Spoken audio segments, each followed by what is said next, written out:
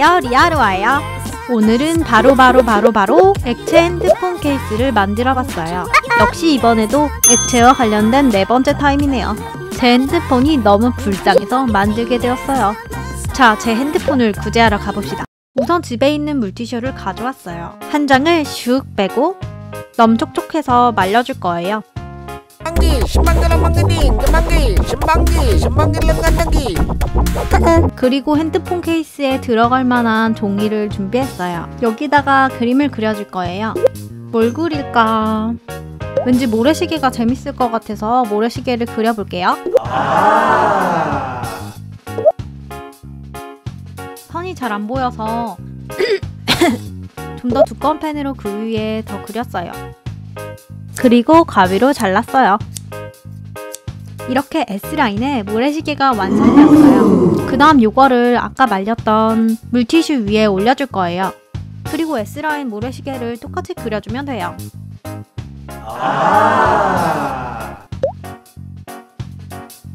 헐. 뭐 지우면 되니까 다시 잘라줄게요. 그리고 요거는 부엌에서 가져온 지퍼백이에요. 지퍼백 입을 벌려가지고 방금 전에 자른 모래시계 모양을 넣어줄 거예요. 아, 요거는 paper towel인데 이걸로 덮어가지고 열을 줄 거예요. 바로 고데기를 준비할게요. 요런 평평한 고데기로 해야지 열을 달였을 때 우글우글 쭈글쭈글 거리지 않을 거예요. 저는 열을 한 110도로 맞췄어요. 일단 요 위에 한 부분은 다려주면 안 되는데 기껏 열심히 다려놨는데 액체 넣을 곳이 없으면 망하는 거죠. 그러니 윗부분은 남겨두고 다려줍시다. 이게 또 다릴 때 막 밀고 그러면 이게 나중에 엄청 우글거리더라고요.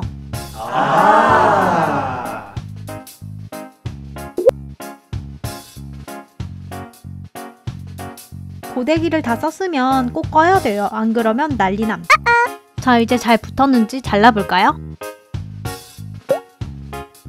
와우. 자, S라인 모래시계야 빠이빠이. 그 다음에 물감이랑 물을 준비할게요. 드디어 제가 좋아하는 핑크를 하게 되었어요. 근데 이 핑크는 형광색이 많이 나요. 근데 물에 섞으면 컬러가 완전 예뻐요.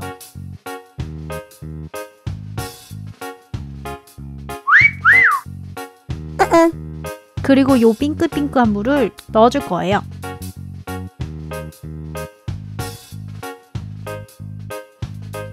으안돼! 액체를 넣어가지고 막 흐르니까 세워놔야겠어요. 다음에 오일을 넣어줄 거예요.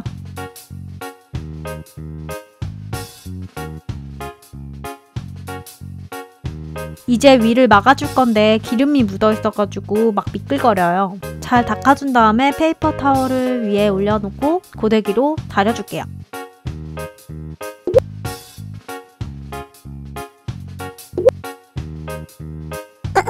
오 진짜 모래시계 됨.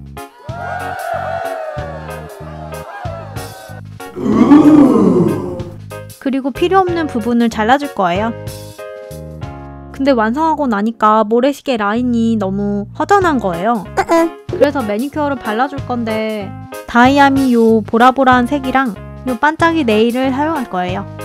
이렇게 겉표면에 다이아미 매니큐어를 발라줬어요.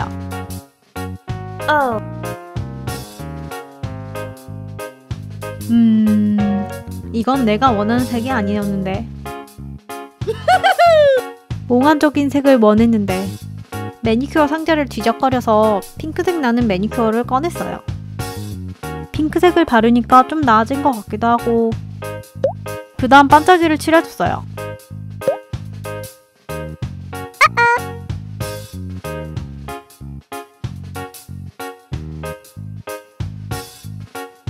원래 이거 다칠하고 핸드폰 케이스에 붙이려고 했는데 생각보다 허전하더라고요.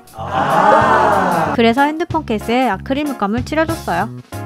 먼저 하얀색 아크릴 물감으로 전체적으로 칠해주고 보랏기 있는 아크릴 물감으로 양옆을 칠해줬어요.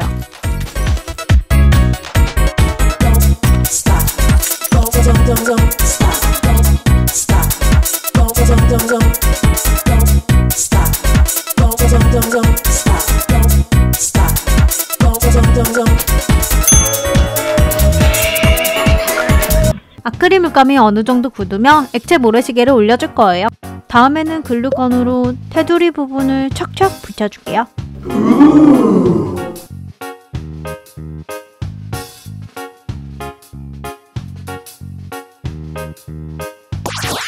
합체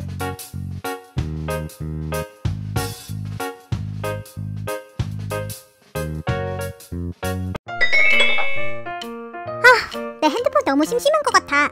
핸드폰 케이스나 바꾸러 가야겠다. 라라라라라라라라라.